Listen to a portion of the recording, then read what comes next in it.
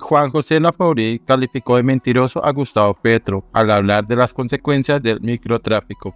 Esto dijo, el hijo de la senadora María Fernanda Cabal y otros críticos cuestionan la derogación del decreto que prohibía portar drogas en espacios públicos.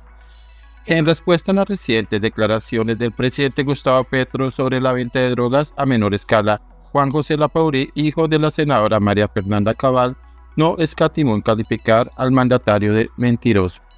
El intercambio de opiniones se desató a raíz de la derogación del decreto emitido durante la presidencia de Iván Duque en octubre de 2018, el cual establecía procedimientos para la policía en la imposición de sanciones administrativas para el porte de cantidades de droga consideradas como dosis personal. Según la ley de estupefacientes, estas dosis no debían superar los 20 gramos de marihuana, 5 de hachís, 2 de metacualona y 1 de cocaína.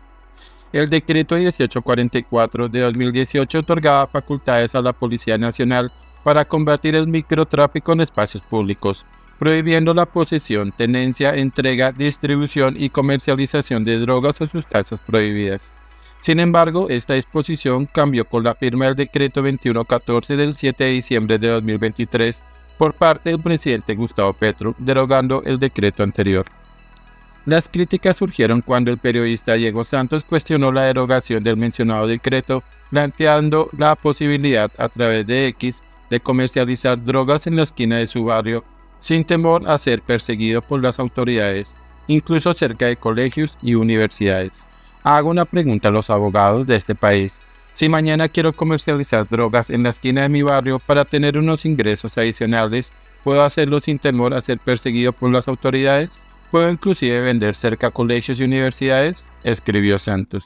La respuesta del presidente Petro nos hizo esperar, por lo que advirtió que si alguien intenta comercializar drogas en su barrio, terminará en prisión.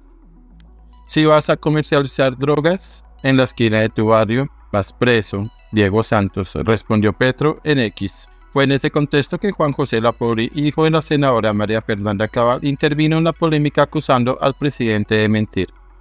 En su respuesta, la Pori señaló que la afirmación de Petro era falsa y agregó que aquel que se involucre en actividades criminales podría ser nombrado gestor de paz, situación que sucedió en el pasado, y recibir un subsidio del Ministerio de Igualdad si tiene menos de 28 años, insinuando que en el gobierno actual ser criminal puede ser beneficioso. No sea mentiroso, será nombrado gestor de paz y recibirá un subsidio del Ministerio de la Igualdad si tiene menos de 28 años. En su gobierno ser criminal paga, dijo la Pauri en X. Esta controversia generó un intenso debate en el país, ya que la eliminación del decreto y las nuevas políticas en torno al microtráfico han levantado preocupaciones sobre la seguridad pública y la eficacia de las medidas adoptadas.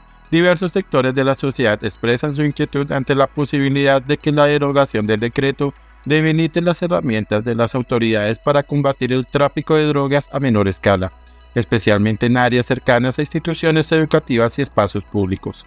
El intercambio de declaraciones entre el presidente Gustavo Petro, el periodista Diego Santos y Juan José Lapauri puso de manifiesto las divergencias y tensiones existentes en torno a la política gubernamental sobre el microtráfico.